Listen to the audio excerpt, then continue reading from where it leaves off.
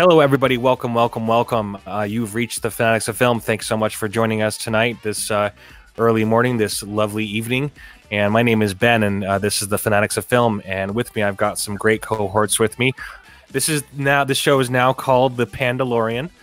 Um, we've got uh, Billy D. Williams showing up here on this episode. He's uh, he showed everyone how to be become a Pandalorian because you know we are all gender fluid now. Now that uh, just because the mainstream media wants you to believe it so, and uh, I'm a damn well disappointed that Finn and Poe are not in a, a in a relationship together. How do you know for sure?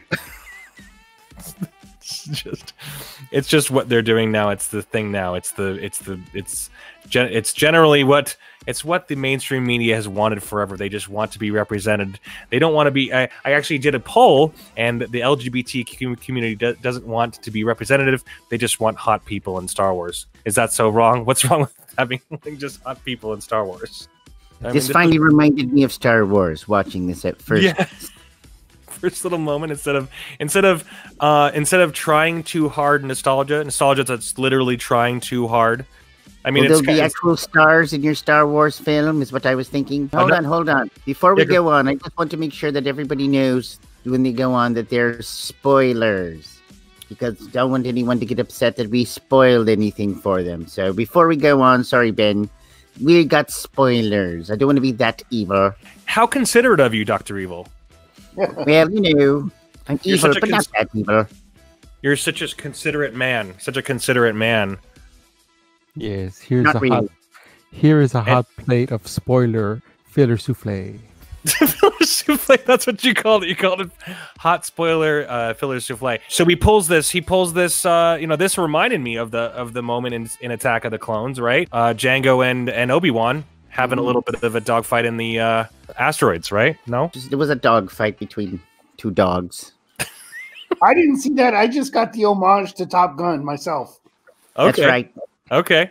What were you saying, when, What was that? Yeah, when when uh, Luke was in the speeder and then he he pulls the brakes so the two speeders pass him and then he shoots them. That's what I got out of it. Hmm. You guys thought of Top Gun though. Yeah, well, that was pretty much the same move as yeah, in Top I know. Gun, I can. Yeah, I can the brakes that, yeah. and then yeah. flies by him and then he shoots him. Mm. Very similar. Who came first, Top Gun or Return of the Jedi? Return of the Jedi. Yes, that's right. The the speeder bikes they do that. They pull that move on on uh, on Endor. Mm-hmm. So, ooh, you know, it, what what is the moment he says? He says, "Oh, I could take. I can bring you in cold, or I, I can bring you in warm, or I can bring you in cold." And then he's like, "That's my line." What was? I don't know. Part of me was like, oh, "Is that too?" Is, I don't know. Did you guys like that? No, it was 1980s nostalgia action movie quips. Yeah. Yeah, yeah very I'll much so. Back. I like that cheese. They should have ended the episode there. the gunslinger. None of this makes any sense. None of these titles. The gun they could call the gunslinger any episode. Yeah, it's literally just generic, isn't it? So this this was actually a cool moment. My heart did jump when I saw Tatooine. Uh, I was literally like, I mean, he says, you know, he says, you know, most likely Porty has some communication, communicate with someone there, and it it made me realize, dude, they actually did rebuild some of the set for Tatooine for this, which was pretty, it's pretty wild. Like I was, I was, uh, I was thoroughly impressed with that. And if you look at, I mean, if you, you know, forgive me for the detail, but you know, diehard Star Wars fans, we know exactly what the hell Tatooine looks like, and that is they they took it right out of A New Hope, man. That oh, looks yeah. really great. So it was a great like it's you know this is right out of there. It's like this that dude. That's the same exact shot right there. Right. That's the that's the first frame of A New Hope right there. I mean, even that moon, exactly. whatever agree. whatever that whatever that moon is that you see to the left, that that moon is mm-hmm. in the shot, opening shot of A New Hope. May I say that's New Moon? How were they able well, coming to up here? I think they heads? I think they rebuilt the uh, cantina set too. Coming up here, it looked exactly the same. How yeah. The hell, how the hell did they rebuild the cantina when they don't have any source material? That's right. They have no material. They have no source source material to get from. That's right. They they don't they only have 599 uh, page novels. They don't have 600 page novels. They only have 599 page Right, right. They did what they do best. They winged it. So, but these are Book these are beautiful shots. Yes. That's they use the 1980s coloring book pages for their source material. That's great. I like that DoD. That's hilarious. Got it at Walmart. So, but these- all these shots, these intro shots- great bargain. All these shots are great. And then we're introduced to uh, my favorite character of the episode. The girl Um, from Cheers. She- they insist on putting they insist on putting like regular people. Did you guys Yeah, hate her as much as I did? Did you guys hate Dan, her? Danny DeVito's wife. yeah. She looked like Danny DeVito. Danny DeVito has talent. I thought this was Maz Kanata. Like before she got old. A young Kanata. She ages like Benjamin Button. before her before her face before her whole head turned into a, an orange football and her eyes turned into buttholes. Yeah. Right. Butthole eyes. I mean, I don't know. I don't know. It just seemed like it didn't really fit. I mean, maybe okay, maybe Tatooine has changed since since you know we last saw Tatooine, but I like her. Uh, I like her Chia Pet hairdo. She looks like she could be sweating to the oldies. This pubes grew in nicely. Yeah, the drapes match the carpet for sure. It's uh she's just like, what do you guys what do you guys think? Do, do you guys feel like she was a convincing mechanic? Do you guys feel like that?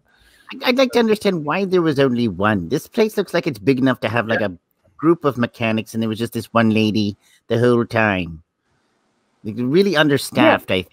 Like And- he wasn't a weekend. Think about how much work uh, uh, the Mandalorian and uh, I have spoken guy Nick Nolte put in. You know, it was a whole montage of two guys doing shit, and she's just just chilling. Yeah, she I don't like even the- have a phrase. She don't even have like a I've spoken or anything of her own. Uh, not that that needs to happen, but it's just it was just pretty pretty silly. All right, let's move on because You it's- know, the, the, the, the crime is that she's not entertaining at all. She's not a cool character. There's nothing about her other than, oh look, it's a it's a woman who represents a certain age bracket What? who doesn't Yeah. get normal representation in Star Wars. Well, and that's the first thing that and that's the first thing that you think of, unfortunately, when you see a character that is shoehorned in there that doesn't feel like Star Wars at all, which is what we're getting, which is what we got from the last episode, from episode four. And Hmm. don't get me wrong, I I'm sure she's a good actress. They're probably these these people are probably really great actresses. They're good at what they do, but it just feels doesn't even feel like Star Wars at all. Like, could you? She's Try? not good at what she does. She sucked as an actress. And you know, the real thing is, if the if the Empire had just fallen, it'd be kind of a free for all. She'd be somebody's blowjob droid, not running a uh, this this shop that she's running. What's what's her character name? Blowjob Did droid. she, I'd like to know, did she put up that decoration? Her name her name is Phyllis. Her name is Phyllis Filler. Let's film. She- she I think she put up this Christmas decoration of all these of all these uh heads. I'm not who did this, I wonder. It was weird. It was outside her place. Well, and this was the big. Very This was, inviting for people to come in to her I shop. thinking that might have been the days of Hanukkah. I don't know. it was like it was like trying to make it you know threatening, but it's literally for like a split second. And they use this. They use this shot, shot for the trailer to get everybody. oh, you know, Game of Thrones and Star Wars merged into one, and that's what we have with the Rise of Skywalker because we're gonna have the end of that bull crap. It's gonna be the Girl end of Game of Thrones. The Impaler. I don't know why, but then, some you of this episode reminded me a lot of uh, episode two of Star Wars when they like when Anakin rides off in the speeder bike and uh, Padme's Yeah. just standing there. I don't know a lot of that. That's the vibe I got for this episode. Only Attack of the Clones Yeah, was, was yeah. good. All right. So anyway, that's yeah. th- okay. So she lifts the baby Yoda up. Like, "Eh, eh, what should I do with this thing? What? She looks like that guy Richard Simmons. She That's should what I said, She looks sweating terrified. He oldies. said that- She looks yeah, sorry, terrified in that picture. she should breastfeed it. so bad, man.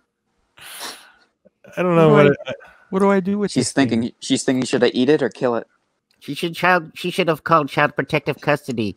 I mean, he just left this bloody baby alone in his ship, just all alone, a little baby.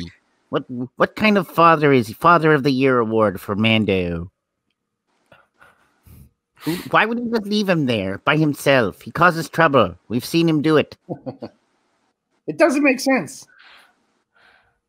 It just, I mean, I guess they, I mean, they wanted someone to connect with the with Baby Yoda, which is fine, but it just felt so forced. The character felt forced. It didn't feel like, like, it didn't. It, took me out of it took me out of Star Wars. I don't know.